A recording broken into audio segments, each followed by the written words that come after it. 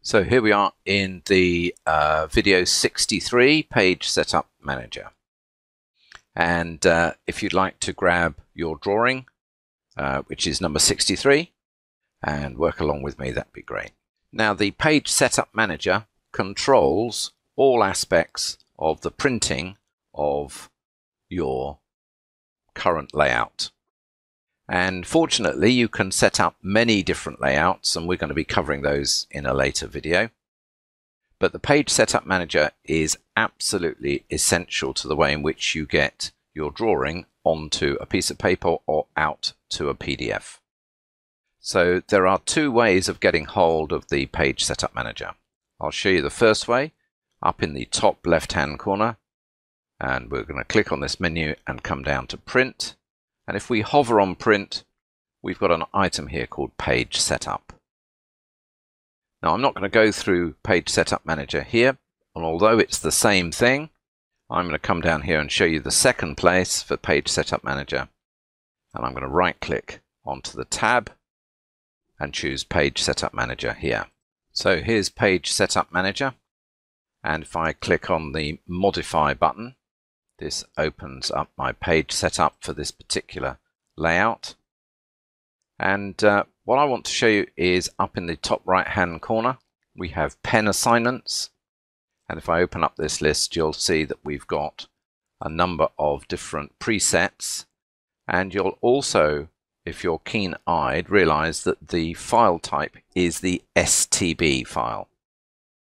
Now you'll remember from an earlier video that I was recommending the CTB file which you open at uh, the very first stage from your template and that means that this is the named plot style here as opposed to the color dependent. So CTB is color dependent and STB is named plot styles. I'll just show you what that looks like. I'm going to click onto this button and here we have the panel where you can set up your named plot styles.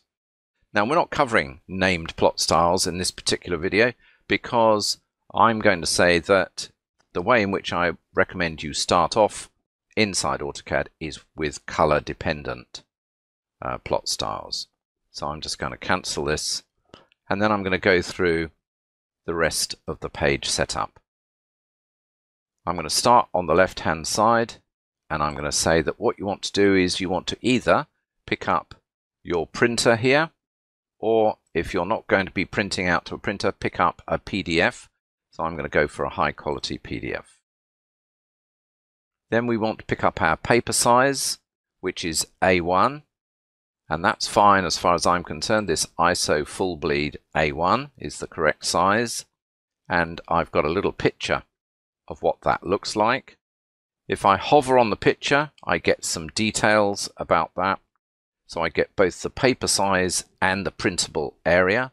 So the printable area is just a little bit smaller than the actual paper size, just to allow a machine to grip onto the edges of the piece of paper.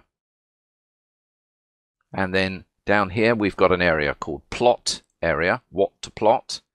And this pull down list allows you to change your mind about what you're going to be plotting. Uh, display is whatever you've got on screen. Extents is the full extents of the drawing inside paper space. Layout relies on these dimensions here. And window is a selectable area that you can choose from. I'm going to choose extents because it's the most flexible. And I'm also going to make sure center to plot is ticked so that I've chosen the full extents of my drawing right to the corners of my title block and I'm centering it on the piece of paper. And we can check to see if this is any good. We can click on this preview button and here is a preview of my drawing and you can see that it's perfectly centered on my piece of paper and if I'm happy with that, I can press Escape to come back into my page setup manager. Then I'm going to have a look at the center section here, which is called plot scale. This must be set to a scale of 1 to 1 if you've drawn in Paperspace an A1 sheet of paper and you're printing onto an A1 sheet of paper. That will then guarantee that your viewport scales are correct once you've printed. So a scale of 1 to 1 is talking about the relationship of your paper to your drawing. And then on the right hand side here, we've talked about the pen assignments and whether you've got an STB file or a CTB file. And that's dependent upon the template that you open up right at the beginning of your drawing exercise. And then down here, we've just got a few tick boxes that are quite normal. These are the standard tick boxes that uh, you would have. So plot objects and plot the line weights, the pen thicknesses. Uh, plot transparency, so if you've got transparency turned on, make sure that's ticked as well. Plot with plot styles, these are the plot styles up here, of course, and so you want those. And there's an item here that says that you could, if you wanted to, hide the Paperspace objects. Now, I don't want to do that, so I'm going to leave that unticked. Right at the bottom, we've got an option to say either portrait or landscape or upside down. This will depend on your printer and how you're printing it out. And once you're happy with that, you can say OK. That saves the details to this particular layout and in our page setup manager, we can also say close.